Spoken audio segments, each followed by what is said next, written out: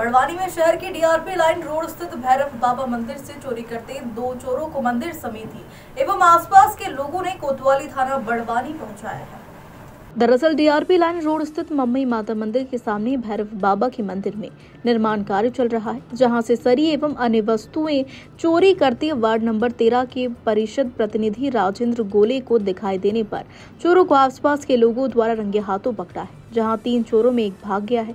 दो चोरों को गोतवाली थाना बड़वानी लाया गया। वहीं चोरी करते चोरों का सीसीटीवी फुटेज भी सामने आया है। कोतवाली पुलिस विवेचना में जुटी है। बड़वानी से सुरेंद्र वर्मा की रिपोर्ट। मेरा नाम राजेंद्र भोले है। न्यू डीआरपी लाइन मुंबई माता के सामने रहता हूँ। ये घटना ये हुई कि मैं वार्ड नंबर तेरह से जो सीवरेज का काम चल रहा है, वो लोगों की समस्या सुन के मैं जा रहा था उधर। तो मैंने देखा मंदिर पे कुछ तीन व्यक्ति चढ़े हुए थे। तो हम समझे कि हमारे समिति वाले ही होंगे। मैं वापस गया, फिर मेरा मन नहीं माना। मैंने यार, हो सके कोई चोरी की वारदात तो नहीं है। जाके देखे तो तीन व्यक्ति गाड़ी पे सरिये लेके और जा रहे थे। और कुछ भंडारा समिति के पाटे वगैरह ये भी थे। उनको हमने नंगे हाथ पकड़ के और पुलिस थाने में पेश किया है।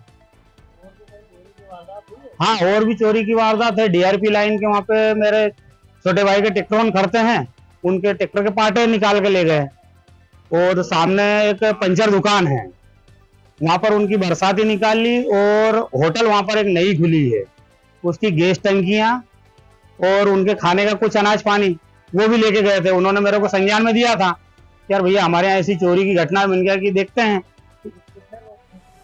ये तीन लोग हैं। तो हम दो को तो ले आए पुलिस थाने पकड़ के। और बाकी एक फरारी में है।